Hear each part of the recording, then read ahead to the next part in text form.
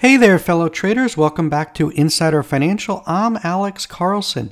In this video, we will recap today's stock market action and discuss our game plan for tomorrow. But first, we have a brand new profile for you to research immediately for Wednesday's session. Pull up XTKG immediately. XTKG is a company that operates in the two hottest sectors driving the market right now Bitcoin and AI. X3 Holdings is a global provider of digital solutions and technology services spanning diverse industries. The company uh, operates across diversified business segments in digital technologies, crypto mining operations, renewable energy, and agriculture technologies. X3 Holdings is headquartered in Singapore and has subsidiaries and operations globally. We all know that energy efficient Bitcoin mining is a super hot sector to be in right now. Since the beginning of the year, XTKG has released a slew of news surrounding their mining operations that have been able to get investors excited. Just last week, they announced the signing of a term sheet for multi year purchase agreements with a leading supplier of Bitcoin mining equipment. X3 Holdings will purchase the next generation of Avalon Bitcoin miners in tranches using a combination of cash and vendor credits. By 2026, 30,000 Bitcoin miners are projected to be purchased. The company said on X last week, our management team is gearing up for a strategic meeting to discuss a potential issuance of stock dividends. Stay tuned as we crunch numbers and plot the course for shareholder success. According to Finviz, the company has just a $3.46 million market cap, book per share of $27.32, and cash per, uh, cash per share of $1.31. It's trading at just 0.34 times sales, 0.03 times book, and 0.57 times cash. So the stock looks to be an undervalued situation here at just 74 cents and even at 71 cents here in the after hours. To read our full report on XTKG, click that link in the description or go to insiderfinancial.com backslash LP backslash YouTube. No spam, your info is never shared. Unsubscribe anytime. You can even sign up just to see the level of research we do here at Insider Financial and unsubscribe. Well, guys, uh, the big news of the day was Bitcoin. Uh, it topped a new all time high uh, Tuesday morning, but the cryptocurrency has since sold off as it dropped 10% record, since recording its new high.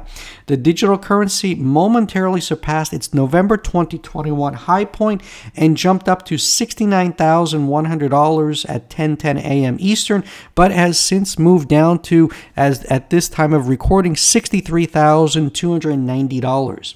The drop in price can be attributed to large block sell orders that were hovering near $70,000.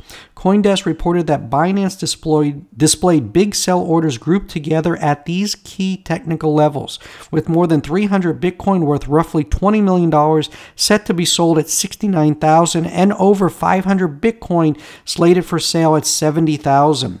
It, it didn't help mu- uh, Mara much, uh, Marathon Digital Holdings uh, company said it mined about 833 bitcoins in February compared to 1,084 bitcoins in the previous month.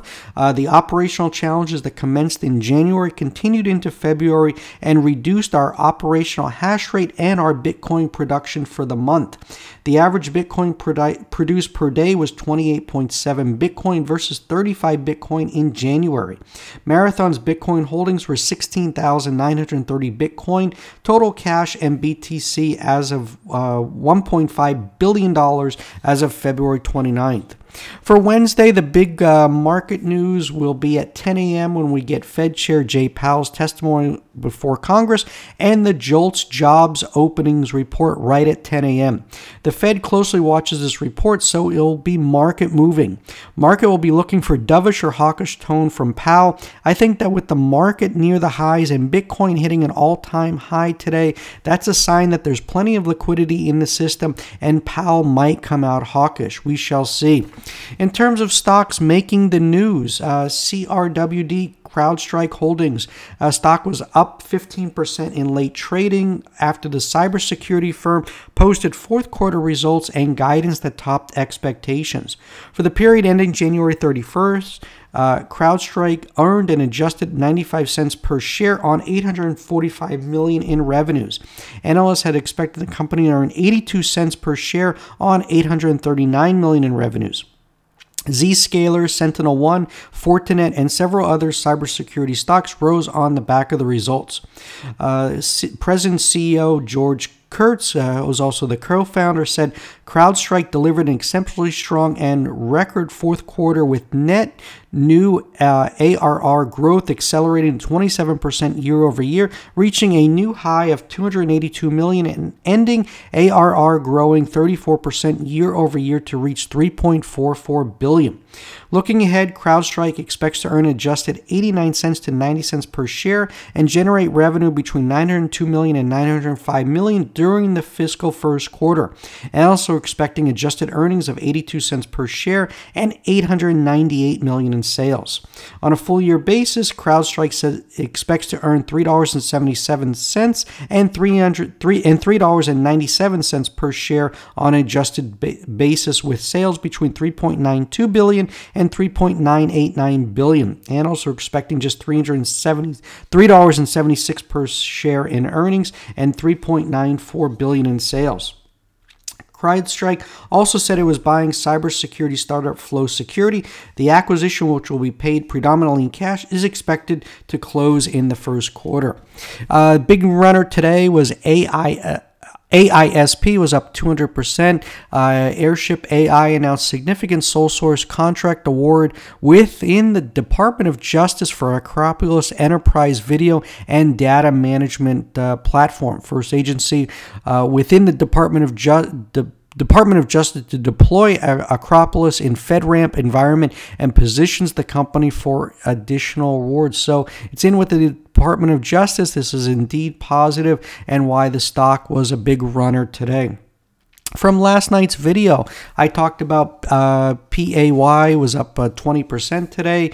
Uh, NYCB uh, was up 17%. Play green, not red. You know, it opened here, uh, you know, in the green and rallied all day. So again, we're not dip buying on these red days. Just play the momentum. Right now, trade it, don't own it. Uh, Soundhound AI said last night this was indeed bearish price action. Uh, look was looking toppy and uh, sold off today. So hopefully you guys book profits uh, in Soundhound. Uh, also, other AI names were weak across the board. Uh, VKTX uh, talked about this one uh, last month uh, on this big weight loss news, uh, a potential competitor to Ozempic. So again, uh, great trial results, and that's why we're consolidating up here near the highs. Uh the break below 75 will negate the, the bullish thesis. So again, above 75, we are still bullish. Uh, TJT was up 12% on good earnings today. So again, uh, put out great uh, numbers, and the call went really well uh, this mo- uh, this morning. Insider buying three names with uh, big insider buying. First up is GoGo had a 2.4 million dollar buy.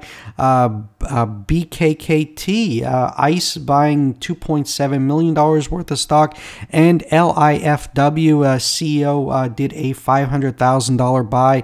the last time he did a 500 thousand dollar buy, the stock spiked all the way to 16. So put this one on your radar screen. Uh, this one has a history of spiking on insider buying. And then for tomorrow, I will also be uh, uh, scanning pre market. Uh, if I see anything else, I will let subscribers know. But our main focus for Wednesday is XTKG. Make sure you read our full report and do your research. At Insider Financial, we put stocks on your radar with the potential for outsized moves. As I repeatedly stated, there are always opportunities in the markets daily. The important thing is identifying which stocks to be in to grab that money. The key is trading green, not red. We are looking for those momentum plays that have catalysts. It's all about finding the momentum before it happens and riding that wave. That's what we're doing here at Insider Financial. To get our small cap reports, we cover low floats, short squeezes, recent IPOs, biotech FDA plays, AI stocks, EV stocks, lithium stocks, and insider buying. Click that link in the description or go to insiderfinancial.com backslash LP backslash YouTube, or you can sign up on insiderfinancial.com. No spam, your info is never shared. Unsubscribe anytime. You can even sign up just to see the level of research we do here at Insider Financial and unsubscribe. Finally, thanks to EDM Media for sponsoring this video on XTKG. Insider Financial and I are not investment advisors. This video does not provide investment advice. Always do your research, make your own investment decisions, or consult with your nearest financial advisor. This video is not a solicitation or recommendation to buy, sell, or hold securities. This video is our opinion, is meant for informational and educational purposes only, and does not provide investment advice. Past performance is not indicative of future performance. Thanks for joining me today on Insider Financial. Hit that subscribe button and ring the notification bell to never miss the latest insights and strategies. Until next time, happy trading. This is Alex Carlson signing off. Bye bye.